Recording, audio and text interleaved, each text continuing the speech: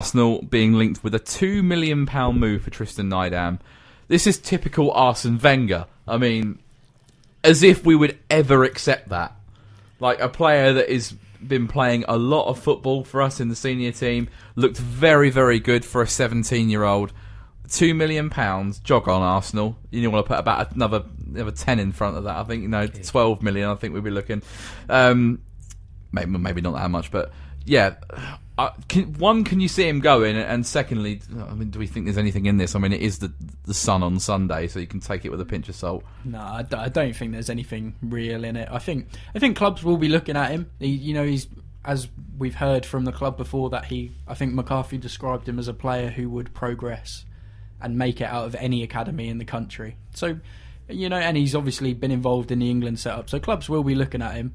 Two million's a, a bit low. I think when Teddy Bishop was coming through and he had that season, I think he was linked with United, Arsenal, and those sort of clubs for around eight to mm. ten. So I think that would, if it was going to happen, I would expect five plus. But Yeah, and ma- uh, maybe I'd take five plus. But um, I wouldn't because it'll go straight into Evans' pocket. I'd mm. rather have Tristan I mean, yeah, that is true. And I That is think for for his his development, playing regular first team football for us hmm. at 17 Oh, onwards, oh, yeah. it would be massive. I think he'd be a fool to go. As as I think with Dozzell, I think had Dozzell not got injured this year, this would have been his his Teddy Bishop season where we see him run games and really progress into a really top player. But you know he's been injured, and we won't see that now. But Nydam, I, th- I think if he knows what's best for him, I feel he would stay for another couple of years.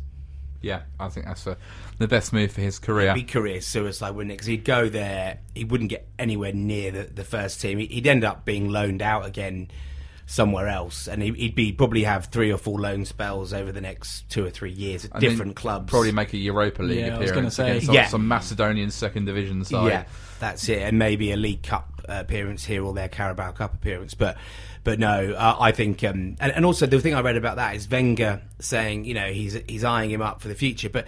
Wenger, how much longer is Wenger really going to be there anyway? Not that long. He can't probably the end of There he this end of this season, but it, it can't be too much longer. So, you know, why he's busying himself with the seventeen-year-olds for ten years time, five years time is is beyond me really. But no, I, I, I can't see it happen.